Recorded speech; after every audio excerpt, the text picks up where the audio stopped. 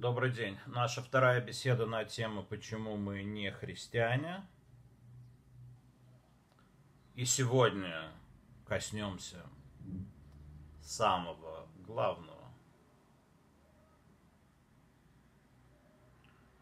Какую весть о духовном мире, о Творце Вселенной несут миру Тора – или христианство с другой стороны. Какие знания об этом мы можем получить через наследие, берущее начало от Адама, Авраама, через храм и великих мудрецов, дошедшие до нас – первооснова всего, она здесь. Начинаем. Цитирую прямо из первой главы книги Раби Мушехайма Луцато Рамхаля Калах Питхей Хохма 138 врат мудрости. Называется это это как Ехуд Аэйнсов Баруху. Единобытие. Эйнсов – это бесконечность, непостижимость. Благословен он. Киквар дата, ше ацмут хамацил барах. Эйн ану медабрим мимену клал. Веху бала рацион. אך כל מה שאנו מדברים איננו אלא מרצונו הכל יכול והבלתי תכלית, שזה מותר לנו יותר לדבר בו, וגם בזה יהיה לנו הגבול עד היכן נוכל להתבונן כדלקמן, אך על כל פנים, כיוון שאין אנו עוסקים בעצמותו אלא ברצונו, יותר מותר לנו להתבונן. Знание начинается с постулата – знаешь ты уже, конечно, что сущность Творца Благословенного, о ней не ведется и речи завсе, вовсе. Он является властителем первичного валения. Валение, которое до сотворения мира еще – сила валения, которая привела к созиданию, сотворению мира со всеми его разнообразными подробностями и прочих миров, и прочих миров. То есть об этом нету и даже намека о том, что сущность Творца что Ну, о чем мы можем вести речь, пишет Рамхал. Это о его безграничном валении, некая первичная сила, мы можем об этом говорить, которая безбрежно, безгранична. Об этом мы можем уже рассуждать. И даже здесь также мы найдем э, ограничения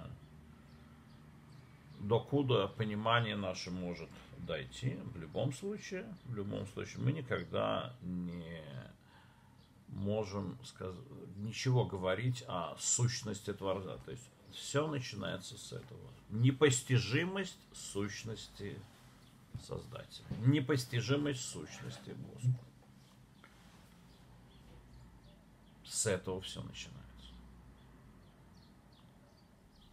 Если стирается эта грань, это понимание, а именно существование для человека непостижимого, и как бы высоко ты не приставился, какой высокой ступени ты бы не примкнул, ты всегда остаешься человеком с его ограниченными возможностями. Став частью гармонии, единобытия, ты являешься гармоничной частью, но ты никогда не можешь, не можешь приблизиться ни пониманием даже, ничем к тому, что есть сущность Бога. А иначе Бог это не Бог, и человек это не человек. Понимаете? То есть, как только мы говорим, что какой-то человек, будь то э, называемый Мессией, будь то называемый пророком, будь то называемый Сталиным или Карлом Марксом, или каким-нибудь Рэбе, как только мы говорим, что он есть выражение сущности Творца в полноте, а такое говорится разного рода язычниками, идолопоклонниками, в этот момент разговор заканчивается, потому что э, Бог становится чем-то таким маленьким, вмещающимся в человека, может быть, талантливого и выдающегося, и одаренного, и видного, и знатного, и, может быть, даже о нем каждый день сообщают телеканалы. Может быть. Но как только мы это говорим, то мы полностью отвергаем Бога. Когда наши собеседники из христианского мира говорят, наш Бог Иисус Христос, это мой Бог, мой, как только они это говорят, они расписываются в полном язычестве. Это не какое-то там совмещение одного с другим. Но как только люди говорят вот это, то они расписываются в полном безверии, в полном отсутствии понимания первооснов религии. Религии не как наследие какой-то группы, у нас иудаизм, у них православие, а у тех суфизм, а у этих ислам, а эти вообще, да, кто верит в Магомета, кто в Аллаха, кто в Иисуса, кто ни во что не верит, даже в черта на зло всем. Говорил Владимир, Владимир Семенович э, Высоцкий. Мы говорим об истине, которая едина для каждого мыслящего человека. Нет у нее ни религиозного обозначения через какую-то группу, нет у нее, как вы понимаете, национальности, у нее нету. Первичная идея постижения Бога, с нее все начинается. Ибо то, о чем мы говорим, это даже выше слова Бог. Мы говорим о бесконечном и непостижимом и что даже его первичное валение тоже бесконечно и непостижимо, очень важное уточнение. Рамхаль здесь, но о нем мы уже можем рассуждать, что-то понимать хотя бы в тех рамках, как это косвенно, через разного рода явления влияет на нас. Это первое утверждение, которое судьбоносно. Как только люди от этого отходят, они превращаются в да вот Гюнона приведите. Все, что он пишет о разрушении, о материи. И вот если ты говоришь, что человек, и неважно кто он, э, пусть это Мессия. Если говоришь, что человек это и есть Бог, то есть не Бог спасает мир, а человек спасает.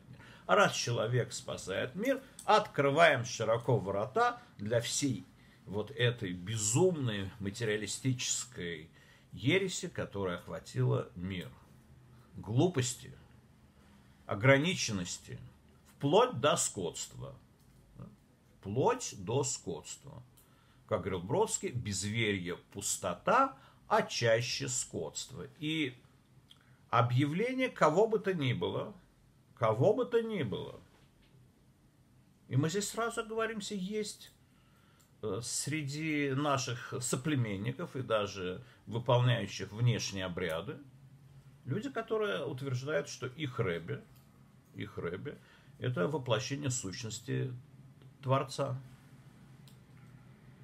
И те, кто так говорят, так говорят часть, по крайней мере, так говорит часть любавического движения, есть любавическое хасидство, которое так говорит, частично, со ссылкой на определенное выступление Ирхей Кала, это называется, их предводителя еще аж 70 лет назад почти.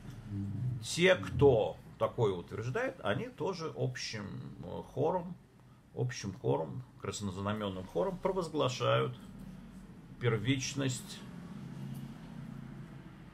идолопоклонство. Причем это не идолопоклонство в смягченном виде, в разбавленном виде. Это просто, вот просто вот оно, вот, вот просто. Э, это, это не ярлык, кстати. Это не ярлык. Идолопоклонством мы назовем все, что не признает Всевышнего как во-первых, непостижимую сущность и как раскрывшуюся сущность Создателя. Это тоже важно сказать. Всевышний сущностно непостижим, а через свое творение раскрывал нам определенное, определенное качество. Качество это не целостность и не сущность, понимаем, да? Если я построил что-то, это не отражает моей сущности – это лишь указывает на часть моей личности. И вот личность, как бы личность, так нельзя говорить, конечно, ну как, но условно обозначая как бы личность Творца, э, ее непризнание и попытка э, утверждения, что личность Творца раскрылась в каком-то из людей, это может быть индийский аватар, там тоже такое иногда говорят. Вот как только вот эта вот сущность Творца, мы говорим, раскрылась, да, то на этом разговор о постижении, о духовном пути, он заканчивается просто. Он заканчивается. И можно было бы на этом поставить точку. Но нет.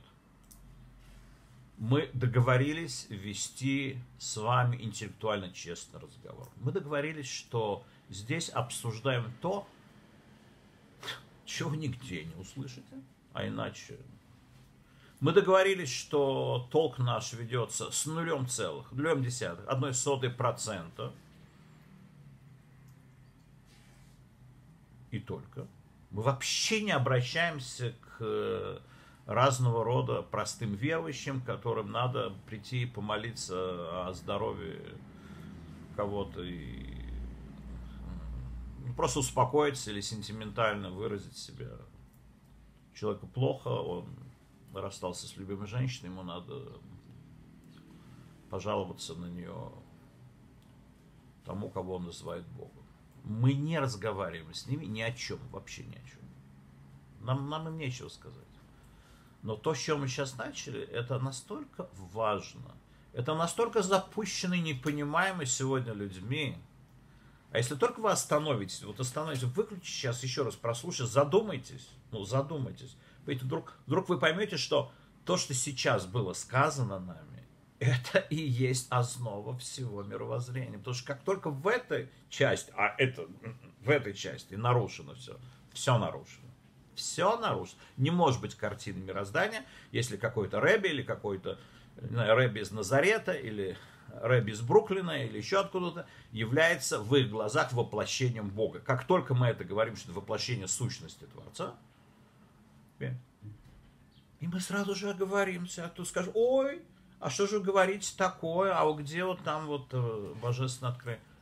Любое явление в нашем мире, любое, любая книга, все, что здесь происходит, оно связано с Богом. Либо он не просто творец, но он еще и управляющий, всемогущий, всемогущий управляющий. И, конечно же, любой из персонажей, выдающихся, кому поклоняются, в любом из них была некая искра Божия, а может очень большое пламя Божие можно назвать тогда. Наша задача только понять, где вот в общей картине мироздания каждый из них пребывает – если мы обсуждаем уже конкретные личности, конкретных персонажей. Если мы говорим, что это мессия, мы должны понять, что такое, что такое мессия. Сегодня же говорят, вообще, для сегодняшнего человека мессия это, это тот, который придет, поможет э, вылечиться, поможет э, не платить э, долги, избавиться от банков и просто нормально жить. Вот что такое для них сегодня мессия. Или какой-нибудь еще там предводитель, который всех побеждает, и вообще он э, въезжают на э, спортивной машине, и все прекрасно. То есть, вне всякого сомнения, что все персонажи, которых пытается наделять божественными свойствами, в них было что-то, иногда со знаком минус, иногда со знаком плюс, э, мы отдельно будем это уже подробности, понимаете, да? Это уже подробности. Каково место, например, Моисея? Каково место Мессии из дома Давида? Каково место Мессии из дома Юсефа? Есть ли страждущий и страдающий Мессия? Это есть ли такое в общей концепции? с точки зрения высшего принципа, есть ли это, но это уже подробности. Начинаем мы с того, что Бог это Бог, а человек это человек. И между ними существует связь. Есть Всевышний Бог, который сокрыт, непостижим. Он, как Творец, как раз постигаем, познаваем. Этим мы занимаемся, мы изучаем его пути.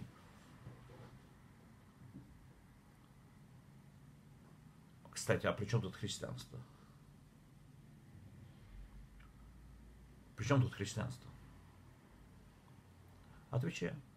Сегодняшнее христианство, смею утверждать, что это в 99 случаях, еще, может быть, еще 99% случаев среди людей, которые объявляют себя верующими христианами, для них Иисус Назарейский – это Бог. Ну, просто. Это Бог. В христианстве присутствует термин как Богородица, то есть женщина, которая родила Бога. Присутствуют такие термины, как гроб Господень, то есть место, где убили их Бога. И еще очень много чего такого интересного. Это не только у христиан. Это не только у христиан. Есть такие явления, и в разного рода восточных направлениях. Да. Маймонид это еще описывал, что изначально люди, которые жили на земле, они были ближе к первичному осязанию, первообразному. Они верили в единого Творца. Знание было о едином Творце. Со временем они решили, что удобнее к нему обращаться не напрямую, а через Солнце, через Луну, через те нужды, которые есть. И они больше и больше и больше обращались через эти нужды, через мессианскую идею избавления, например. Все больше. И начали забывать уже о Боге. И все это спускалось, спускалось, спускалось, вот до, докатилось до поклонения материи. Или как наши мудрецы это описали в случае с посещением язычниками Авраама – они поклонялись грязи своих ног. Это то, что сегодня происходит в Соединенных Штатах Америки. Целуют ботинки. Причем тут христианство сегодня 99,9. Еще как причем.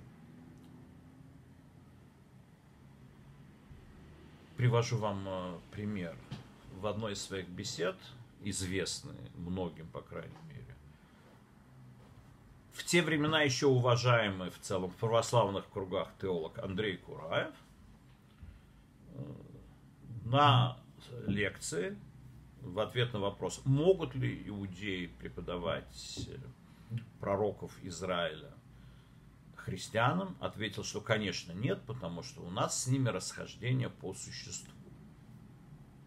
У нас с ними расхождение после расхождения в том, что для них Бог это Энсов, непостижимый, непознаваемый, а для нас Бог это личный Бог. То есть мой Бог, мой карманный Бог.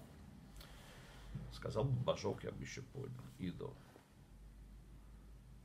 В одной из своих полемических э, статей я ему ответил на эту тему. Вот прямо так и ответил, объяснив, как... Он вообще не понял, о чем идет речь он мне потом еще ответил, но вообще не понял, о чем. То есть не то, что э, привел какие-то доводы. Только православные нет. У протестантов и евангелистов то же самое. Jesus Christ, our Lord. И когда они говорят Lord, конечно же, пытливый еврей, который интересуется этим, понятно, что когда они говорят Господь наш Иисус Христос, они берут это из иврита, где сказано Адунейну. Адунейну. У любавических хасидов тоже есть Ихи Адунейну Морейну Воробейну. Ну, само по себе слово вообще ничего. Это господин наш. Я помню, как в Москве любавические хасиды как-то тоже это с большой буквы уже публиковали. И слово «господин» в русском языке может означать э, с большой буквы и обращение к Богу. Господь тем более в русском языке так оно принято. Из, изначально нет. Не Господь, господин наш, просто господин наш, как учитель наш. Мы не просто так это сказали, потому что мы туда сейчас еще пойдем. Но для начала выясните себе, причем тут э, просто не, не надо ничего искать, просто все, что сегодня связано с христианством, католическим, протестантским, э, восточно-православным, они верят в то, что Иисус, Он не просто Мессия, а Он Бог абсолютно. Более того, это во многих местах прописано. Это во многих местах прописано. А что такое, например, Аве Мария? Вот мы слушаем замечательную музыку. Шуберт, Аве Мария, или Баха, Бах Гуно, знаете это, да? Аве Мария. Там есть Матер Дей. Что такое Матер Дей? Мать Господня, Мать Божия. Дальше э, можете задать вопрос, а как они до такой жизни дошли? И как можно вообще хоть э, секунду пребывать там, где подобное существует, где существует термин Матерь Божия, где существует вера в то, что Иисус Назарейский был непосредственно Богом. Как можно? Как можно? Ответ очень простой. А вы посмотрите на коронавирус, как люди боятся. Вот так можно. Можно весь мир закрыть. Можно Э, объявить святым э, э, Джорджа Флойда в Соединенных Штатах Америки можно. Это цивилизованная, часть человечества так ведет. В нашем сумасшедшем доме можно абсолютно все. И люди принимают на веру любой мираж, глупость. Но это только одна сторона. И мы, как вы понимаете, сейчас не пытаемся сказать, что у нас э, все. Я специально подчеркиваю, что внутри нашего сообщества тоже есть такие явления. Это свойственно людям в целом. Человекопоклонство свойственно. Превратить любого ребя или наставника в мессию, машеха – это человеческая наклонность, естественная. Но, как и многие низкие векторы человеческого существа – они тянут нас вниз. Помните, в школе было, вот кто тянет нас назад, двоечники там, и прогульщики, вот кто тянет нас назад. Они нас тянут в, из-под, в материю, что нет Бога, есть человек. А, человек может, а если человек может быть Богом, то тогда, да, ну, можно сказать, тогда все дозволено, на самом деле. Об этом тоже подумайте, кстати. Но все не так просто. Все, мы, вот все не так просто. Потому что наша задача сегодня – это не поставить их к позорному столбу. Наша задача показать, во-первых, что мыслящему человеку там делать нечего сегодня, с очень существенной оговоркой. И мы сейчас займемся оговоркой. Мы сейчас займемся оговоркой. Ну что, давайте все-таки разберемся, корень этого всего. Что случилось? Как можно было дойти до вот кураевской глупости. И это не только Кураев. Our Lord Jesus Christ, мы это слышим везде и всюду.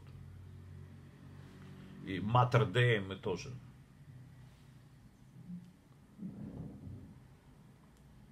Может быть, кто-то когда-то понимал это не как Матерь Божия, а как божественная, обожествленная Мать.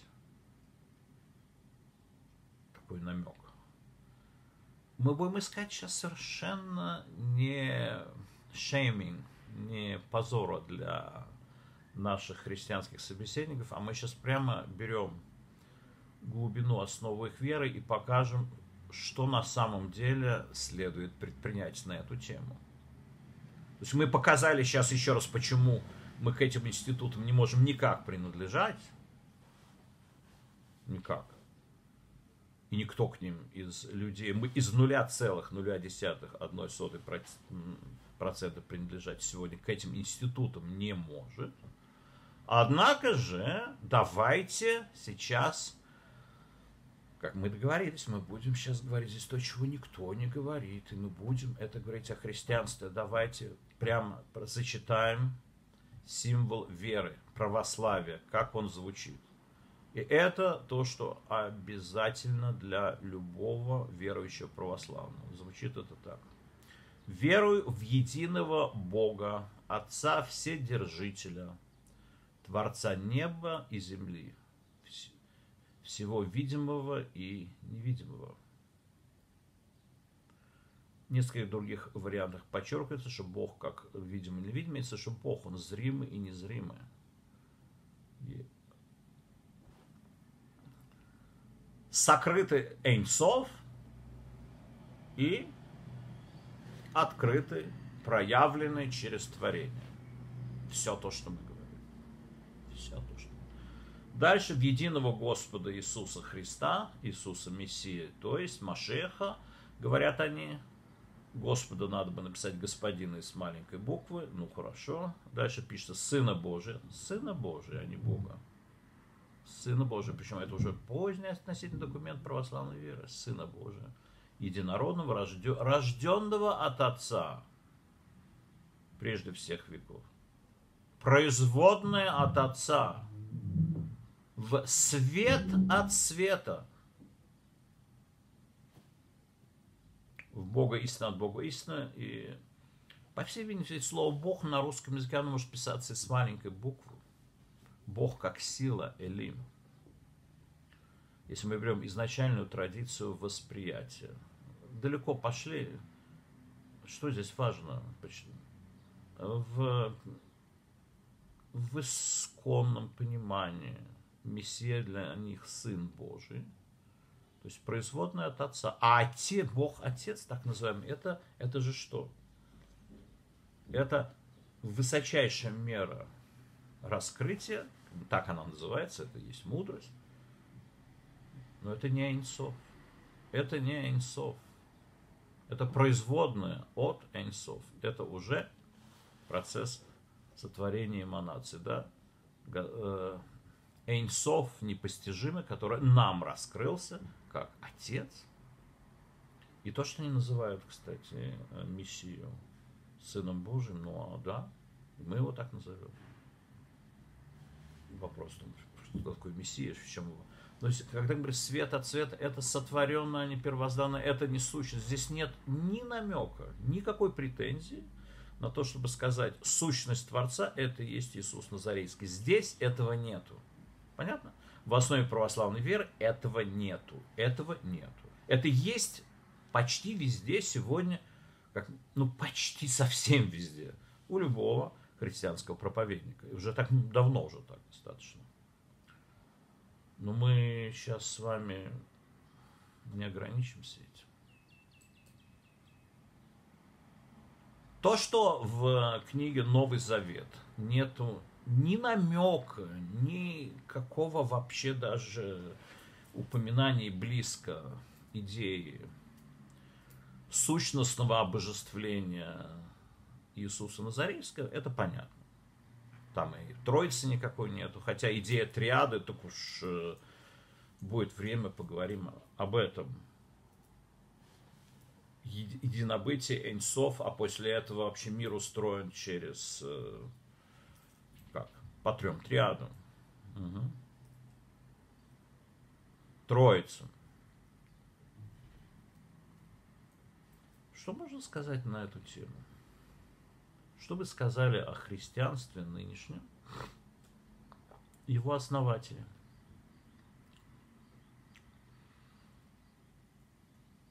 То, что ничего нету в Новом Завете, мы подчеркнули, а дальше, ну, про что говорил Максим Исповедник. Бог един, безначален, непостижим и обладает всей силой целокупного бытия. Он недоступен для всех сущных и не познается ни одним из сущих через свою естественную проявленность. Здесь написано все ровно наоборот. Теоретически некоторые христианские Теологи признают, что действительно так. Но на практике. Поговорите с кем угодно, во что верим, в то, что Господь наш Иисус Христос, э, как какая-то дама как-то спросила меня, вы что, не верите в э, Христа? Ну, в смысле, вы, говорит, в Бога не верите? Понятно, да? То есть для них, если человек эм, не верит в то, что Иисус Назарейский, воплощение всей сущности божественного, вот это важно. Не, не Божья искра, не Божья душа, и не, да хоть говорить пророческий дар, а даже э, какая-то степень мессианского раскрытия. Говорите. Это тема для другой. Это не язычество все. Это может быть ошибка. Но здесь просто корень абсолютно тухлый, когда говорят вот такое. А, вот, а Максим Исповедник вот совсем иначе, например, учил их. Совсем иначе. Ну, не только Максим Ампра, Иоанн Дамаскин. Ну, и вот, точное изложение православной веры. Там есть глава о том, что божество непостижимо. Бога не видел никто никогда и так далее, и так далее. Да. Приводятся разные цитаты, кстати, из книги Новый Завет, кроме же самого первого блаженного существа, никто никогда не познал Бога, разве только тот, кому он сам открыл, никто, только из людей, даже самых примирных сил, из которых, говорю, херувимов и серафимов, вот именно касается сущности Творца. Но и не только. Григорий Палама писал то же самое. А, ну, наиболее э, дерзко и точно сформулировал это Иоанн Златоуст. Какой же корень всех зол? Слушайте, какой же корень всех зол? Человек дерзнул сказать, я знаю Бога так, как сам Бог знает себя. Опаньки, опаньки, каббалисты лайт здесь же многие, и любавическое направление, и почти все христианство сегодня. Почти все христианство. Нужно ли обличать это? Нужно ли доказывать? Это явное безумие, непростительное безрассудство, новейший вид нечестия. Никто никогда не дерзал ни помыслить, ни произнести языком ничего подобного. Подумай, несчастный жалкий. Кто ты? Кого исследуешь? Ты человек, а исследуешь Бога. Неужели, скажи мне, ты исследуешь Бога безначального, неизменяемого, бестелесного, нетленного, вездесущного, превосходящего, все превышающего всякую тварь? Но ты скажешь, я человек почтенной свободы, ой, свобода выбора, какая прелесть. Ты почтен не для того, чтобы употреблять свободу на прикословие, а для того, чтобы употребить эту честь на послушание почтившему. Бог почтил тебя не для того, чтобы ты оскорблял его, но чтобы прославлял. Оскорбляет же Бога тот, кто исследует существо его.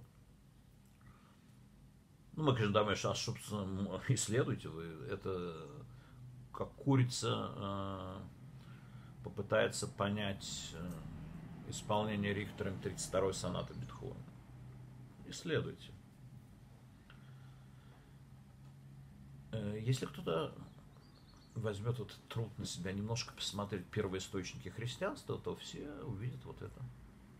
То есть все, что сегодня вы слышите от знакомых христиан, причем от, это и от простых верующих, и, это, и от иерархов, оно в самом основном пункте противоречит уже даже не только тому, что был раскрыт нам в Торе, в Танахе, в Библии, не только раскрытому им через Новый Завет, но и через, через отцов церкви и основоположников православного христианства в том числе, ну и прочим тоже.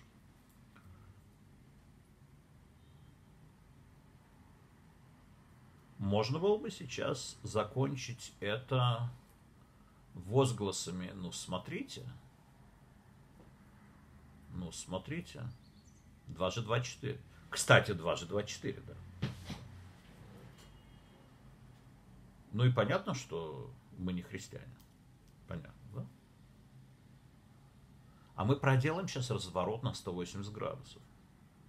Разворот такой. То есть то, что мы не христиане, это понятно, ибо вот все вот это, что они э, наградили, наворотили, оно не заслуживает внимания даже. Невзирая на отдельных просветленных людей, типа Владимира Соловьева, Владимира Сергеевича Бердяева. Киркегор тоже был интересным мыслителем, да и Константин Леонтьев. Можно сейчас много кого привести из людей, достойных внимания, изучения. Не о речь. В целом, в целом, христианская доктрина в историческом ее аспекте она провалилась. Она провалилась, это уже мы показали в прошлой беседе, в главном споре историческом с Израилем. Вы примете нашу веру и только потом вернетесь. Израиль не принял веру и вернулся. Мы на этом спор закончили. Бог истории постановил. Мы видим, как они просто на 180 градусов развернулись в первоосновах веры мы видели это только что с вами. А для чего это говорю? Для того, что вы, люди, которые огульно отталкивают христианство, подумали вот еще о чем. То, что разного рода священники, политики тащили это все вниз, вниз, вниз, э, да, вплоть до определенного участия в Холокосте. Да, и это тоже надо сказать. А мы будем вот сидеть и просто говорить, вот какие они заблуждающиеся и хвалить себя, что ли? И говорить, что мы победили, мы на этом остановимся. То есть мы действительно считаем возможным такой подход. Это не мелко для нас. Это не постыдно для нас на этом останавливаться, погладить себя и сказать, ах, а мы были правы, а они ошибались. Мы действительно хотим быть такими? Или все-таки наша цель и задача обсудить вместе с ними, как мы вместе 0,01%, как мы с этими людьми вместе планируем усовершенствование мира. Производя эти идеи вместе, мы уже делаем первые шаги к избавлению мира. Что мы скажем христианам? Мы скажем, да слушайте, вот это вот, почитайте. Обратите внимание, что, что пишет Иоанн Златоуст, оно могло быть просто калькой с э, разного рода еврейских традиционных писаний, которые доносят примордиальную традицию. Вот просто. А, кстати, Григорий Палама нет. Ну, а коли так, давайте сядем и как-то обсудим это. Вернемся к первоосновам. А если мы вернулись к этим первоосновам, может быть, у нас есть э, общая платформа какая-то? Если вы людям покажете вот это и объясните важность, у них будет уже озарение. Вы уже очень много этим, многого этим добьетесь. Если, если сможете вытащить вот эти заблудшие души из э, пут такого заблуждения, фундаментальнейшего, вы этим самым, вы этим самым построите что-то в грядущем Иерусалимском храме. Потому что это и есть усовершенствование и исправление. мы коснулись сегодня самого главного и сущностного. Не ради того, чтобы сокрушать, ради того, чтобы усовершенствовать и строить. Те, кто поняли хоть частично, что это такое, у них с ними произойдет внутреннее землетрясение. Те, кто вдумаются – все, что было сказано, можно проверить по источнику. Я даже Рамхаля привел того, который переведен на русский язык. Не для того, чтобы проверять меня, а для того, чтобы углубиться, почитать, что было до, после, еще лучше изучить контекст, посмотреть, где мы живем. И отсюда вовсе не следует, что все писания какого-нибудь Анны Златоуста, они являются Э, последним словом. Мы можем отдельно показать его несостоятельность в других вопросах, но это те люди, которые у истоков христианства. Эти люди у истоков христианства. Иоанн Дамаскин и, и Златоуст. Это, это люди, которые у истоков. А те, кто у истоков, ну, эм, мы должны задаться этим, этим вопросом, что происходит, почему это так. Почему это так? Почему до сих пор 99% э, к этому абсолютно глухи, при том, что если вы обратите внимание, то иногда такие цитаты да попадаются. Они иногда да присутствуют в разного рода изысках православных, католических, протестантских мыслителей. Давайте на этом остановимся. Давайте на этом остановимся. Остановимся на слове надежды. Что нет-нет, не все так тухло вокруг. Нет, не все так запущено. И что когда мы разговариваем с христианами, мы укажем на те самые корни в их учении, которые прямо, прямо соприкасаются с древом жизни.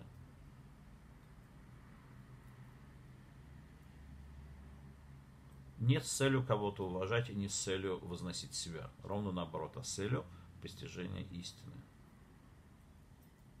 И необходимых изменений, которые э, мы вносим в этот мир словом правды. То, что вы сейчас услышали, вы нигде не услышите. Поэтому продолжайте, продолжайте, продолжайте свои поиски. Идите вперед, толкайте нас вперед всех. Если кто-то из ваших друзей захочет подписаться на канал, рекомендуйте ему. Можете оставлять свои заметки, сообщения. И всем я вам желаю доброй веры. Всего доброго.